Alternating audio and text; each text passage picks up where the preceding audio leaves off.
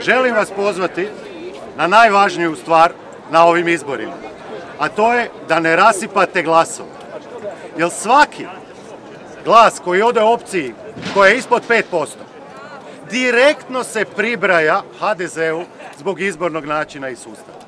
Pozivam vas da date glas isključivo domovinskom pokretu, pravu i pravdi i našim koalicijskim partnerima.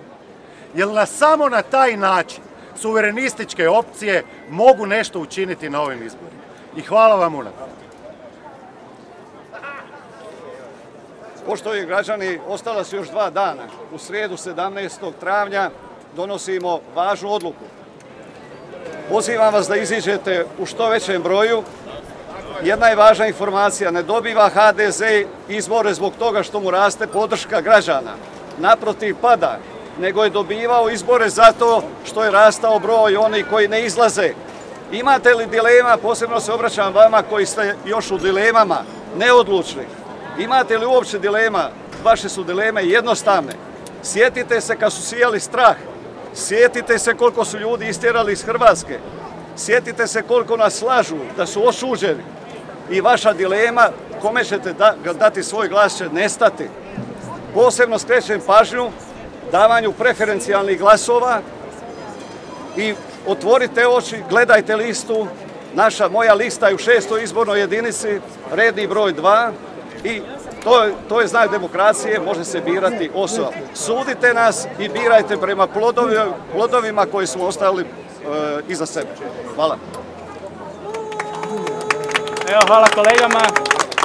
Ja kao zadnji ću prije svega zahvaliti svim našim članovima, svim građanima na predivnoj atmosferi, na podršci, na svakom malom onom naporu i velikom koji ste uložili u ovu kampanju.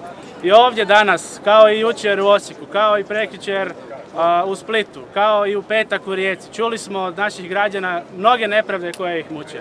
Još od pretvorbe i privatizacije do koje kakvih ovrha i raznih različitih prevara koje se događaju na sve strane, sve to želimo dovesti u red, sve to trebamo napraviti, ali treba nam snaga. Snagom možemo doći do pravde. Zato za dva dana kada budu izbori, izađite u što većem broju, dajte nam podršku da dobijemo zastupnika, da dobijemo mandate, sve vaše priče ćemo ispričati, ako Bog da budemo imali dovoljno mandata, uzimamo i vlast, tako da možemo provesti sve te politike.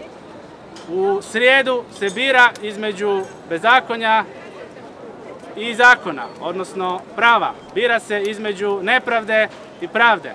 Bira se između prošlosti i budućnosti. ako HDZ kojim slučajem želi nastaviti ovu pljačku, znate što je sljedeće, to su nekretnine naših građana koje su toliko mukotrpno stjecali. To je zadnje utočište koje još nisu taknuli, mirovinske fondove su već dobro opelješili, znamo šta su sve drugo radili, prema tome recite im ne, odbite ih. Hvala.